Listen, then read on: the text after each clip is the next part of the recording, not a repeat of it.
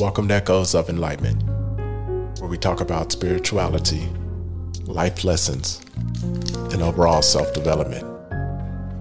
Today's episode, we'll be talking about grounding your identity.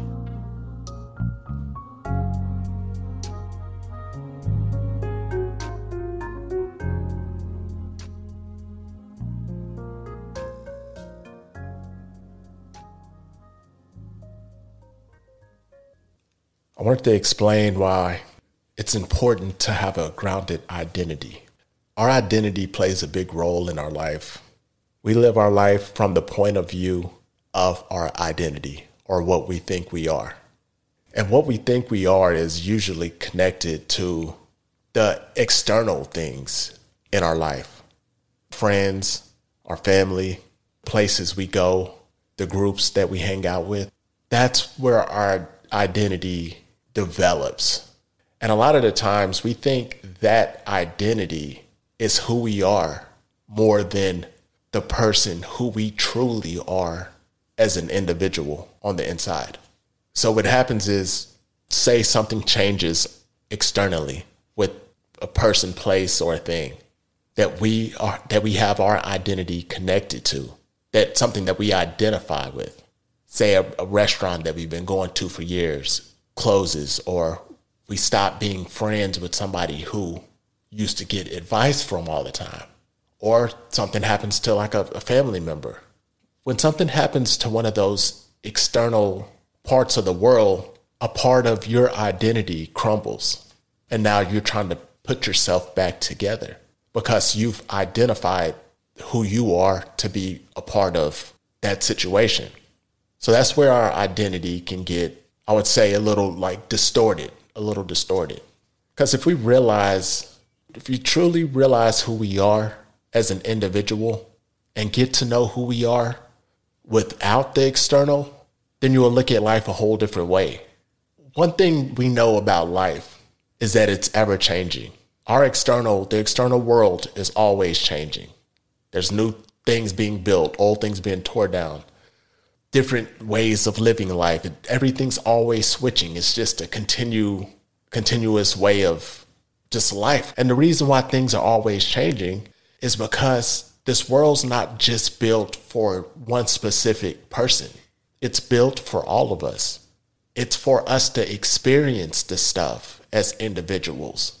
And then you step out of that experience of the world. And when you go home, then it should just be back to you again and you leave all the external stuff at the door. You can still have your friendships and relationships, but they shouldn't be a part of your identity. And the reason why a lot of people lose their identity or never have gained their identity is because they've never sat alone for long enough to be able to decipher from your thoughts and your opinions and your external identity opinions. Because a lot of our opinions and a lot of the way we think comes from the external world.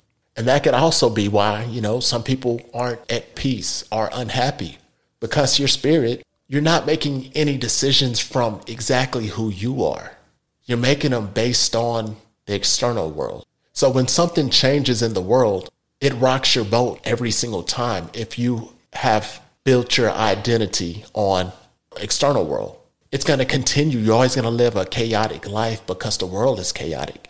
It continues to change. When, when something, your favorite restaurant closes or something changes in your city and you're upset about it, yeah, it's taken away from you, but they're building something else to accommodate another group of people because we're all here. That's what I'm saying.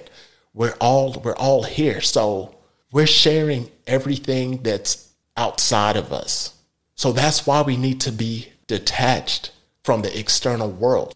Because if you count on the external world bringing you peace into your life and true happiness, that's not going to happen. I mean, it could happen temporarily and on some occasions if you really navigate the world and find you a peaceful place. It can happen temporarily.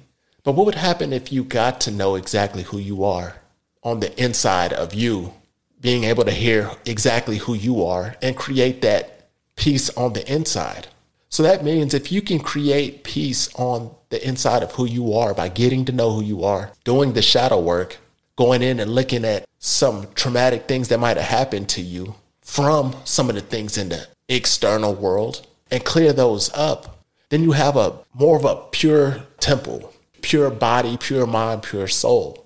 And you can go out and enjoy all the external things the world brings for us to enjoy and have fun with those and then come back and you can still be at peace within yourself and you'll be able to make better decisions because they're based on you and not based on something that can crumble.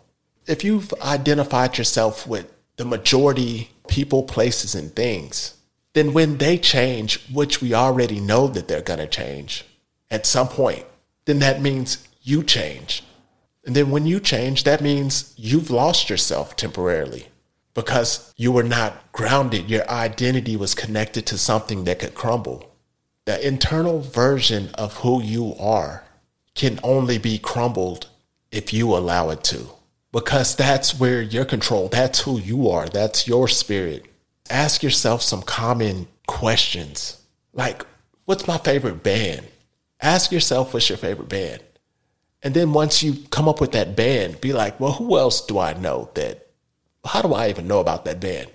Then you'll be like, oh, my friend, this this is their favorite band. Then you're like, oh dang, I think this is my favorite band because my this is my friend's favorite band.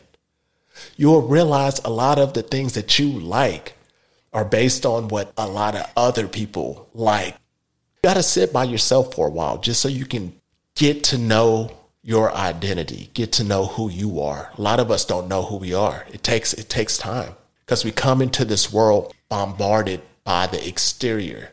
There's really not much time for us to get to know who we are internally.